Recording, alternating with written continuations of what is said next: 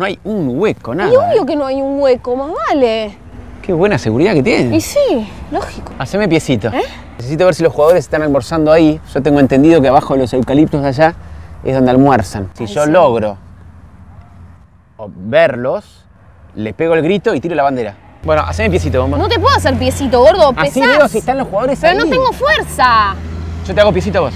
Te voy a lastimar con el allá, zapato. ¿eh? Fíjate si están de acá, a ver. Pero de acá. te vas a lastimar no pasa con nada. esto. Dale, a ver. Entrelazá, Ahí. entrelazá, así se hace el piecito. Fíjate si están de acá. Si llegan a estar los jugadores ahí, vos tenés que tomar, tomar la bandera. Si están los jugadores ahí, vos tenés que tirar la bandera. Si no está Messi, no importa. A cualquiera. Le decís, es para Messi. Dale. Todo tuyo, gorda, dale. dale. Ahí Dale, ahí, dale, ahí, dale, ¿eh? Dale, dale, dale, dale, dale, dale, dale, dale, dale, ¡ah! dale, dale, dale, dale, dale, dale, ¡ah! ¡Ay! Pero me estás cargando. Es difícil, gorda. Subite a hombros. ¿Acá? Acá, a los hombros, dale. Tenés que ver ahí, dale. A ver. Ay. Ah. Va, dale, un, dos, tres. Dale, gordo, me estás cargando. Pero dale, hace fuerza. ¡Ay! Te va- Pero, ¿cómo no me puedes levantar, gordo? Dale. Ay, gorda, quedé, quedé débil del COVID. Pero sos un debilucho, mi amor. Mírame cómo estoy. Toda enredada en la bandera. No puedo ni usar los brazos. No podemos abandonar ahora. Yo le voy a entregar este obsequio a Leo. Porque lo quiero alegrar. Vos haces lo que quieras. Yo no me presto más a estas pa- paparruchadas. Te espero en el auto. No, vamos a la, allá.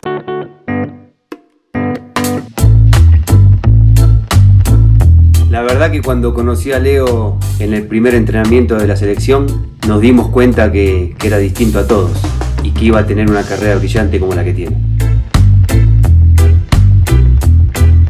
La selección la verdad que compartimos muchísimos momentos, entrenamientos, vestuarios, giras. Tengo como anécdota la semifinal de vuelta de la Champions, donde Mourinho me dice a mí que tenía que marcar a Messi. Yo con una amarilla más me perdí a la final. Y marcar a Messi es muy complicado, muy difícil. Por suerte todo salió bien, tuvimos la suerte de llegar a la final, de ganar la Champions. Y Leo, después del partido, vino, nos cargaba y decía, ahora ganen la final. Para la historia del mundo entero, de la selección argentina, del Barcelona, cuando uno piensa en lo bueno que tiene el fútbol, piensa en Leo, porque Leo es el fútbol, Leo es la esencia.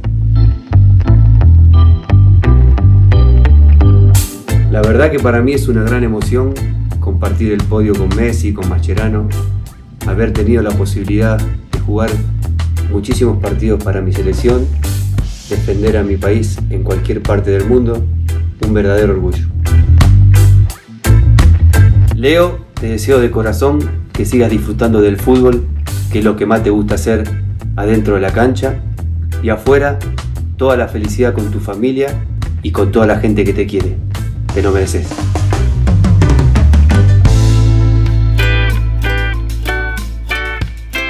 Hola, soy Hernán López Muñoz, el 10 de Central Córdoba de la provincia de Santiago del Estero. Hola Leo, soy Sofía Maceto, jugadora de la Selección Nacional de Fútbol Playa. Hola Leo, soy Luciano Leguizamón, jugador de gimnasio de Grima Entre Ríos. Hola, soy Natalia Rea, jugadora de Banfield. Hola, soy Brian Miranda, el número 10 de Tristán Suárez. Soy Fernando Enrique, el 10 de Talleres de Remedios Calada.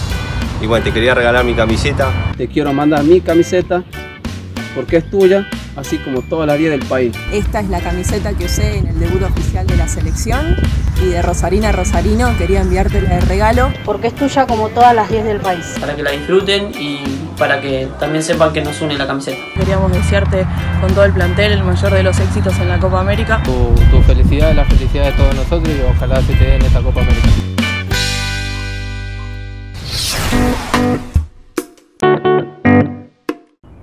¿Acá, acá me dejás? Qué pena, ¿no? ¿Qué?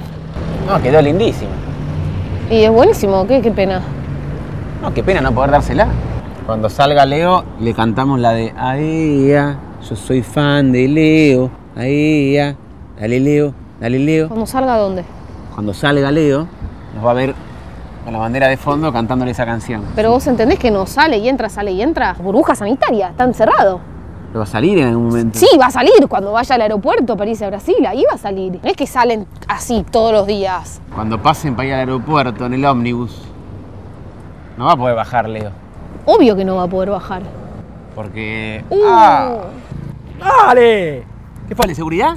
¿Cómo hacerle seguridad, Jero? Fue, fue el viento, mi amor. Qué mala leche, hermano. No sale nada bien. Y no. Me cansé, me hinché los me cansé. Y bueno, sí, hay que aceptar que hay cosas que no van a pasar, que no están como destinadas. Vamos a ir al aeropuerto. ¿Eh? Tienes razón vos, tenemos que ir al aeropuerto. Yo no dije que había que ir al aeropuerto. Vamos a ir ahí con la bandera para despedir a los jugadores cuando se vayan a abrazar. Todo vigilado, están tan resguardados, ¿no? No, no es que los vas a poder ver, no los vas a poder ver en el aeropuerto. Yo tengo un contacto en el aeropuerto.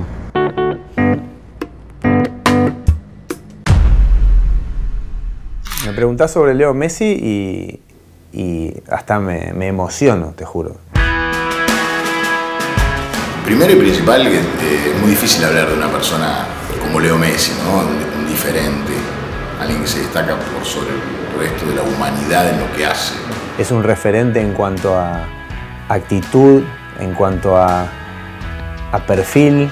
Para darte una idea, Ginóbili ya para mí es un adjetivo, como un futbolero dice, esto es Champions League, o yo digo esto es NBA.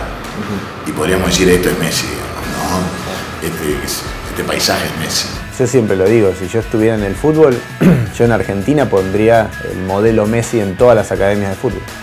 Un tipo que es muy hábil con la pelota, pero que no abre la boca, que le pegan y no dice nada, y se levanta, que contrasta muchísimo con, con el modelo de, la actuación, con el modelo de la queja, con el modelo de, querer sacar ventaja. Él saca ventaja con su fútbol. Cuando vos Messi, parece como que tenés que hacer todo lo que se supone que tenés que hacer, ¿no? De tal manera. Y él se animó a ser transgresor. Y me gusta porque esa misma rebeldía, esa misma audacia, después se la traslada a la cancha siempre, pero además lo hace feliz. Y también la habilidad que tiene para mantener esa simpleza siendo una de las personas más conocidas del mundo. No es fácil ser Messi. Una cosa es ser conocido y otra cosa es ser famoso. Y otra cosa es ser el número uno del mundo. Vos ya no podés hacer las cosas que hacen las demás personas. No podés.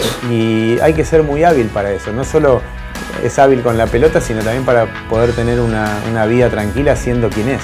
Yo lo único que, que, puedo decir cada vez que lo veo jugar para Argentina o para, o para el Barcelona es gracias.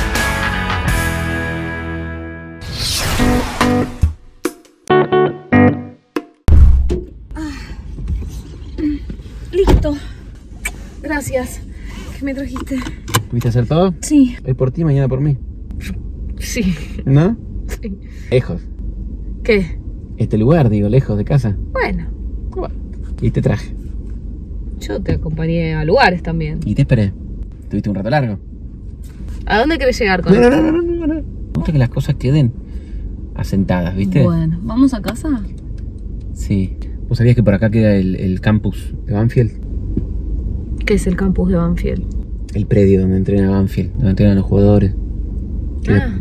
que está acá nomás. Yo estaba, estaba con el auto ahí recorriendo un, un poquito la zona y de Sí. repente veo ahí el, el, el campus de Banfield. Mm. Cuando veo una cancha o, o el lugar donde entrenan los jugadores me, me agarra. Uf, me encanta. ¿Vamos a casa? ¿Estás para que le echemos una visita? ¿A qué? Al campus de Banfield. No. Una visita cortita. No. Y aparte no podés entrar. Vos no es que te apersonás en los lugares y decís, hola, ¿qué tal? ¿Me dejas entrar? Y la gente te deja entrar. Pero yo tengo un contacto en Banfield.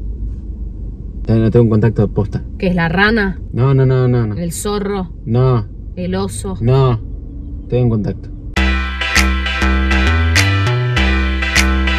Se está jugando la Copa América en Brasil, pero todos también estamos pendientes de lo que está a la vuelta de la esquina, que es la clasificación al Mundial de Qatar 2022. Por eso hoy es un buen momento para que recordemos juntos los 5 mejores momentos de Leo en las eliminatorias. Número 1. Su primer gol. Fue ante Venezuela en Maracaibo en el camino al Mundial de Sudáfrica 2010. Gambeta y buen zurdazo para el definitivo 2 a 0. Número 2. Un distinto. ¿Quién no se acuerda del golazo de tiro libre ante Uruguay por debajo de la barrera del arquero Muslera? Fue en Mendoza un 12 de octubre del 2012, partido espectacular de Leo y definición de crack. Número 3. Un tiro libre. Después de este golazo ante Colombia en San Juan, José Peckerman, entrenador en ese momento de la selección cafetera, dijo, con Messi en esta dimensión, es imposible. Número 4. Un golazo. Parece que es a propósito, pero es que Leo Messi se cansó de meter golazos de tiro libre en las eliminatorias. Este fue ante Paraguay en Córdoba, en el camino al Mundial de Brasil 2014. Tiro libre de larga distancia inalcanzable para el arquero guaraní.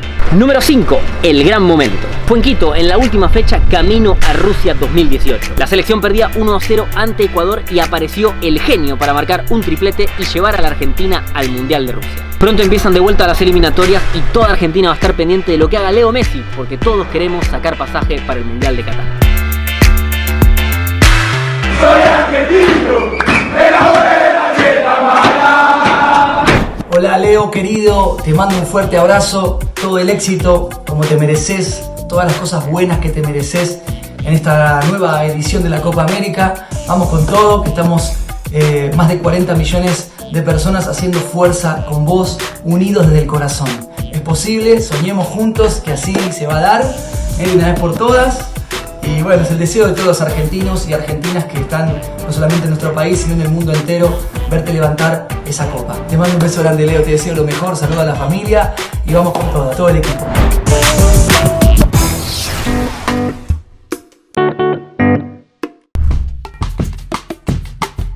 Qué lindo lugar, mi amor.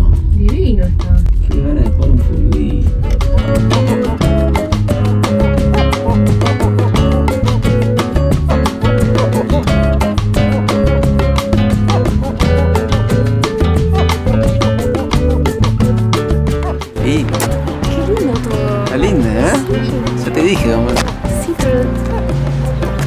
Mirá qué lindo, qué ganas de jugar acá, qué ganas de ser futbolista que tengo a veces. Bueno, ya está. Dios mío. La verdad que te subestimé, ¿eh? Me subestimaste, sí. Y me dijiste, tengo un contacto. Yo después de lo del otro día dije, mm, Mm, Feo. bueno, bien. Y te estoy diciendo que muy bien. Cuando tengo un contacto, tengo un contacto. Pobre, dudoso. Dátolo. ¿Datos? ¿Qué? ¿Un dato? No, no, da- eh, Jesús Dátolo. ¿Quién es Jesús? Está Dátolo ahí. ¿Cómo quién es Dátolo? No sé quién es Dátolo. Jugador de fútbol, bueno, jugó en Boca, Ah, mira. Jugó en la selección, Ah, jugó con Messi, ¿jugó con Messi? jugó con Messi. Mirá. Dátolo es el puente. ¿Qué puente? Dátolo es nuestra llegada a Messi. Ay, te pido por favor. Es Dátolo. Te pido por favor. Es la última oportunidad que tenemos, mi amor. Dátolo. Vamos, Te pido por favor que no lo molestes. Está trabajando él, ¿eh? es una, una- una cosita.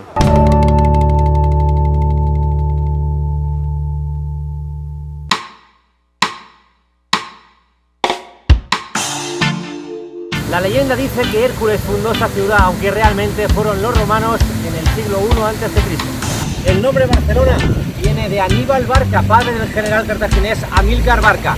Barca, Bárquino para los romanos, Barcelona para los árabes y al final Barcelona. Actualmente viven 1.600.000 personas, 840.000 hombres y 760.000 mujeres. La Plaza Cataluña es el kilómetro cero de la ciudad, el punto más céntrico de Barcelona. A Barcelona es parlen dues llengües oficials, el castellà y el català. En el inicio de esta rambla encontramos uno de los puntos más emblemáticos de Barcelona, el punto de encuentro de celebración de los fans del Barça, la mítica Fuente de Canaletas. ¿Y saben por qué el Barça celebra sus títulos aquí? Pues porque hace muchísimos años, a mitad del siglo XX, en ese edificio de allí había la sede de un periódico, el periódico El Sol. Por lo tanto, aquí había un kiosco de bebidas, un puesto de bebidas, y los redactores venían, le decían al barman cómo había quedado el Barça y en una pizarra escribían el resultado. Los aficionados se acercaban a esta zona para ver cómo había quedado el Barça cuando jugaba fuera de casa y cuando hacía una final evidentemente era el lugar, el momento en el que se enteraban que el Barça había ganado. De eso a que esta zona se poblara y cada vez que el Barça gana una liga, una copa, una Champions, este es el punto sagrado de los fans del Barça. En Barcelona hay muchísimos templos religiosos de referencia. El más famoso es la Sagrada Familia, que se empezó a construir en 1882, 140 años y aún no ha terminado, obra de Antoni Gaudí, aunque la catedral de la ciudad es esta. Barcelona tiene más de 4.000 calles, la más larga, la avenida Diagonal. Hay una dedicada al fundador del Barça, a Joan Gamper, y una para Leo, seguro que muy pronto. Leo Messi llegó a Barcelona el 17 de septiembre del año 2000, hace casi 21 años. Así es esta pequeña gran ciudad. Barcelona, esa ciudad que tanto le ha dado a Leo Messi, que tanto ha recibido del crack argentino. Pase lo que pase, haga lo que haga, siempre le querremos y esta siempre será su ciudad.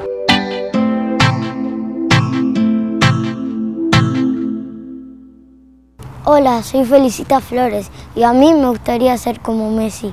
Empecé a los dos años a entrenar con mi hermano y después fui a un club que me, que me dijeron que podía jugar, en Arrieta. En ese club no, eran todos varones, la única nena era yo. Era medio complicado, porque eran nenes. Cada vez iba jugando mejor y iba mejorando. Mi papá publicó un video y ahí me mandó un mensaje Messi. Me encantó el video, sos una genia. Estaba mirando la tablet y de repente mi papá llama, diciendo que contestó Messi. Mi mamá, ¿qué haces? Agarra el celular, va a mi cuenta. Y ahí ve la publicación y pone Messi, Leo Messi. Pensé que era chiste. Salí corriendo por la casa. Mi mejor gol fue de tiro libre. Ay, ese lo tengo en la mente. Fue que cobraron una falta en cerca del arco. Nadie lo grabó por casualidad. Cuando le pateo, le pateo al ángulo izquierdo. Gol. A mí me gusta jugar delantera. Soy derecha. Me gusta hacer caños. Para mí Messi es el jugador más conocido del mundo. Sí, a mí me encantaría conocerlo.